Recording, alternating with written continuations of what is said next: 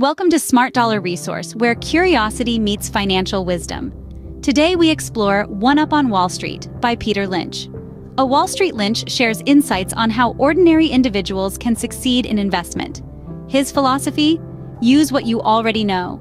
The book teaches us to use our everyday knowledge to identify profitable companies. The book proves that the stock market isn't exclusive to Wall Street's elites. With a sharp eye and perspective, anyone can score big. Thanks for tuning in. We appreciate your thoughts, so leave a comment below. Check the description for additional resources. Please subscribe and hit that like button to stay updated with financial wisdom. Explore the channel for more intriguing videos. Until next time, keep learning, keep investing.